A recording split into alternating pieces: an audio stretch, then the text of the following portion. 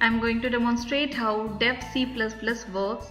Dev C++ is a full-featured IDE that uses either MingW or GCC as underlying compiler for programming in C and C++.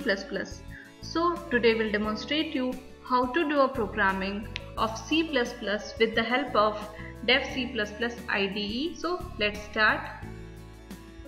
This is our application in which we will do the programming but before that we'll explain you how to set support of C++11 enable.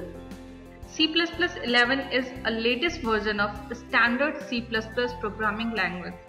So for that just go to the tools, select compiler option, go to the settings, select code generation tab and here in the language standard we need to select ISO C++11 and OK. Now the C++ 11 has been set. Now to do the code just go to the file, go to the new and here either you can select the project or individual source file. Now here we need to type the source code which is written in C++ language. This is a small program to print hello world. Now we need to save it before run. So for that just go to the file and click on save.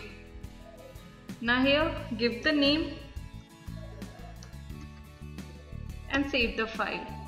Now to execute go to the execute and here either select compile and run or we can do this task individually as well like compile.